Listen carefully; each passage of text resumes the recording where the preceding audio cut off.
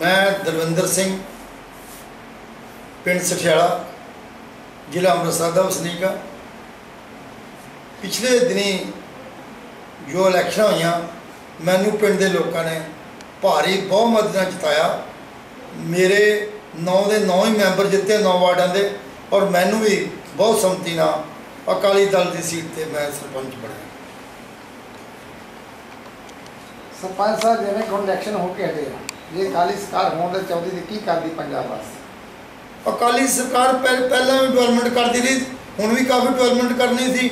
ਪੈ- ਜਿਹੜੀ ਨਵੀਂ ਸਰਕਾਰ ਬਣੀ ਕਾਂਗਰਸ ਦੀ, ਇਹਨਾਂ ਸਾਰੀਆਂ ਸਕੀਮਾਂ ਸਾਡੀਆਂ ਬੰਦ ਕਰਤੀਆਂ, ਜਿਹੜੀ ਪ- ਪਹਿਲੀ ਸਰਕਾਰ ਦੀਆਂ ਸੀ।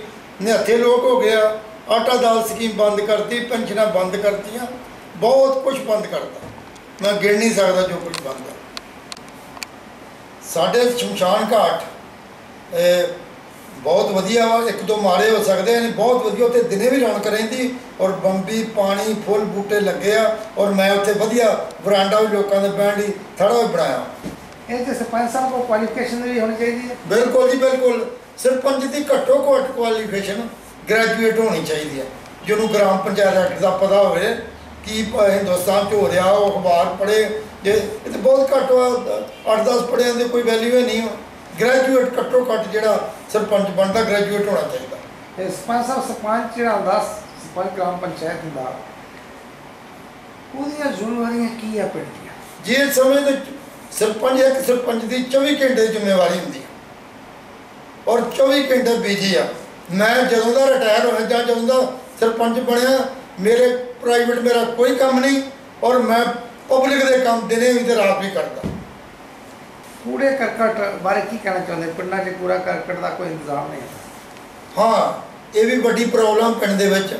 ਫਿਰ ਵੀ ਕਈ ਥਾਵਾਂ ਦੇ ਪਰ ਪਿੰਡ ਤੋਂ ਥੋੜੇ ਬਾਹਰ ਛੱਪੜਾ, ਕੂੜਾ ਕਰਕਟ ਉੱਥੇ ਸੁੱਟਿਆ ਜਾਂਦਾ ਔਰ ਅਸੀਂ ਐਤਕੀ ਚਾਹੁੰਦੇ ਗਵਰਨਮੈਂਟ ਦੀ ਮਨਜ਼ੂਰੀ ਲੈ ਕੇ ਇਲੈਕਸ਼ਨ ਖਤਮ ਹੋ ਗਿਆ ਕੋਈ ਅੱਧਾ ਏਕੜ ਪੰਚਾਇਤ ਦਾ ਜ਼ਮੀਨ ਲੈ ਕੇ ਉਹ 'ਚ ਟੋਆ ਮਾਰਿਆ ਜਾਵੇ ਸਾਰਾ ਕੂੜਕਟ ਕੱਟਾ ਉੱਥੇ ਡੰਪ ਕੀਤਾ ਜਾਊਗਾ ਸਮਾਂ ਆਉਣ ਤੇ ਫਿਰ ਖਾਲੀ ਕਰ ਲਿਆ ਜਾਊਗਾ ਅਸੀਂ ਗਵਰਨਮੈਂਟ ਤੋਂ ਮਨਜ਼ੂਰੀ ਲੈਣਾ ਚਾਹੁੰਦੇ ਸਰਪੰਚ ਸਾਹਿਬ ਨਸ਼ੇ ਪ੍ਰਤੀ ਕੀ ਕਹਿਣਾ ਚਾਹੁੰਦੇ ਜਿਹੜੀ ਮੁਹਿੰਮ ਚਲਾਈ ਐ ਸੀਐਮ ਕੈਪਟਨ ਸਾਹਿਬ। ਨਸ਼ੇ ਪਹਿਲਾਂ ਬਹੁਤ ਸੀ ਹੁਣ ਉਹ ਤੋਂ ਵੱਧ ਗਏ ਆ।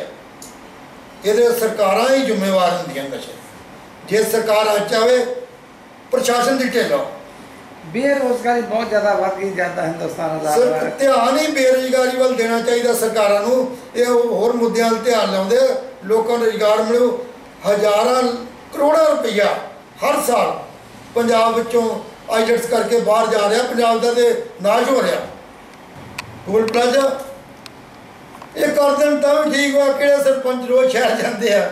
ਏਡੀ ਵੱਡੀ ਗੱਲ ਨਹੀਂ। ਔਰ ਮੈਂ ਦੂਸਰੀ ਵਾਰ ਸਰਪੰਚ ਬਣਿਆ। ਡਿਵੈਲਪਮੈਂਟ ਦੇ ਆਧਾਰ ਤੇ ਬਣਿਆ ਅਹ, ਸਰਪੰਚ ਮੈਂ ਕੋਈ ਰਾਹ ਧਰਮਸ਼ਾਲਾ ਸਕੂਲਾਂ ਦਾ ਕੰਮ ਕਾਲਜ ਦੇ ਬਾਹਰ ਬੱਸ ਸਟੈਂਡ ਤੇ ਸਟੇਡੀਅਮ ਸਟੇਡੀਅਮ ਦਾ ਮੈਂ ਸਭ ਤੋਂ ਜੇ ਮੈਂ ਆਪਾਂ ਨੂੰ ਕਾਮਯਾਬ ਸਮਝਦਾ ਤੇ ਮੇਰੇ ਸਟੇਡੀਅਮ ਦੇ ਵਿੱਚ ਮੇਰੇ ਸਟ- ਮੇਰੇ ਸਟੇਡੀਅਮ ਦੇ ਵਿੱਚ ਕੋਈ 200 ਬੱਚੇ ਸ਼ਾਮ ਨੂੰ ਹਾਕੀ ਫੁੱਟਬਾਲ ਵਾਲੀਬਾਲ ਕਬੱਡੀ ਖੇਡਦੇ ਆ। ਔਰ ਮੈਂ ਖੁਸ਼ ਹਾਂ ਉਹਦਾ। ਤੇ। ਸਰਪੰਚ ਸਾਹਿਬ ਜਿਵੇਂ ਕਿ ਇਹ ਸਰਕਾਰੀ ਸਕੂਲਾਂ ਦਾ ਮਿਆਰ ਬਹੁਤ ਥੱਲੇ ਚਲੇ ਗਿਆ। ਆਮ ਇੱਕ ਟ੍ਰੈਂਡ ਬਣ ਗਿਆ ਪ੍ਰਾਈਵੇਟ ਸਕੂਲਾਂ ਦਾ। ਇਹਦੇ ਬਾਰੇ ਕੀ ਕਹਿਣਾ ਚਾਹੁੰਦੇ ਸਰਕਾਰ ਨੂੰ ਫੈਸਿਲਿਟੀ ਦੇਣੀ ਚਾਹੀਦੀ ਆ ਪ੍ਰਾਈਵੇਟ ਸਕੂਲਾਂ ਵਾਂਗੂ ਜਾਂ ਪ੍ਰਾਈਵੇਟ ਸਕੂਲਾਂ ਇਹਦੇ ਸਭ ਤੋਂ ਵੱਡੀ ਕਮਜ਼ੋਰੀ ਜਿਹੜੇ ਆ ਨਾ ਮੁਲਾਜ਼ਮ ਸਰਕਾਰੀ ਮੁਲਾਜ਼ਮ ਉਹਨਾਂ ਦੀ। ਸਰਕਾਰੀ ਮੁਲਾਜ਼ਮ ਆਪਣੇ ਬੱਚੇ ਜਿਹੜੇ ਆ ਨਾ ਉਹ ਪ੍ਰਾਈਵੇਟ ਸਕੂਲਾਂ 'ਚ ਭੇਜਦੇ ਆ।